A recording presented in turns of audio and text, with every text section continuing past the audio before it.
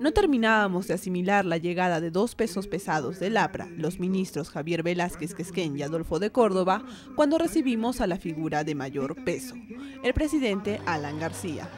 A diferencia de sus ministros, García no llegó a Arequipa para inaugurar una obra pública, sino una que requirió inversión privada, la extensión de la planta número uno de Aceros Arequipa. Por eso estoy aquí profundamente satisfecho. No es una obra del sector público, no lo es. Pero yo soy presidente del Perú, no soy presidente del Estado, no soy presidente del sector público. Represento a todos los peruanos y por consiguiente me satisfago de lo que hacen todos los peruanos. Y cuando los veo avanzar, creciendo en sus fábricas, empresas, naturalmente comparto eso como un hallazgo y como una adquisición para todo el Perú. El evento estuvo programado para las 9.45. El presidente se hizo esperar pues llegó una hora después. Mientras tanto, no podía faltar la presencia de algún desubicado candidato, en este caso Javierismo despostulante al gobierno regional.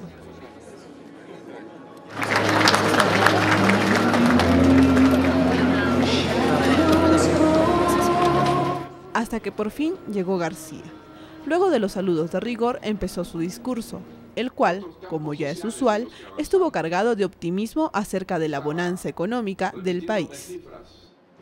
Es un crecimiento seguro y firme del que podemos estar muy satisfechos. Quisiera mencionar y recordar que de este crecimiento al lado de la educación, el acero, la energía eléctrica. Tenemos también otros campos sociales en los que avanzamos. Estaba repitiéndome cifras.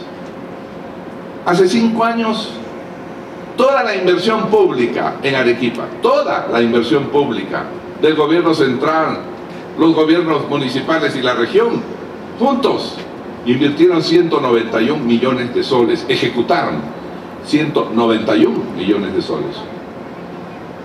En el año 2009 hasta diciembre, solo en ese año ejecutaron 813 millones, cuatro veces más.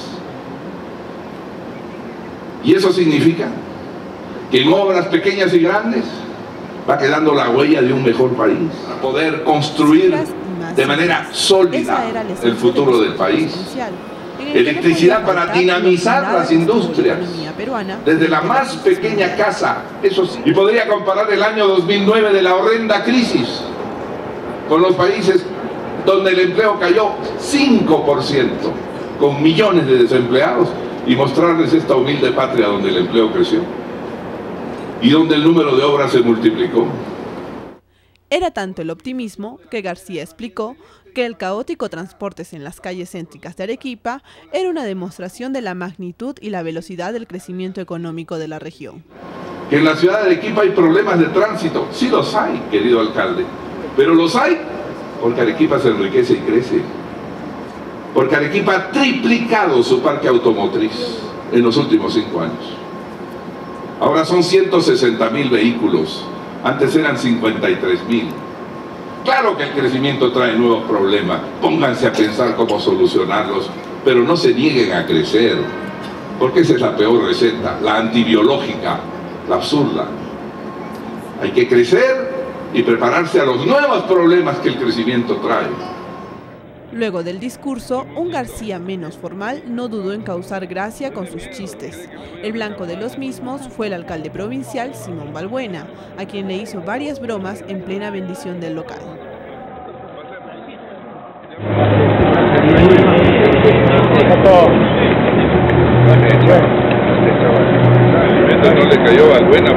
Revienta por un petardo. La, la, vieja crónica dice que cuando le cae un endemoniado revienta como un El Señor esté con ustedes. Y lo bendiga Dios Todopoderoso, Padre, Hijo y Espíritu Santo, que su bendición les acompañe siempre. Amén. Después me acusan a mí de apoyar tu candidatura. Tú no puedes, tú no puedes seguir siendo candidato. Estoy tomando una foto contigo. Aquí fue Balbuena pegándole a Guillén.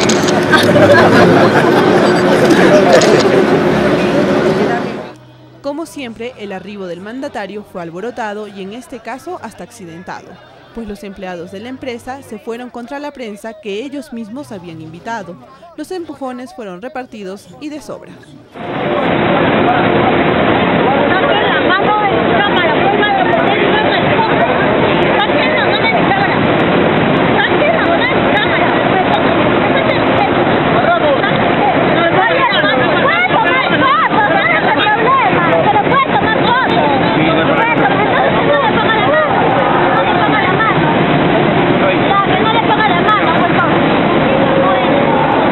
Solo el presidente y los directivos pudieron ver en detalle la ampliación de la planta.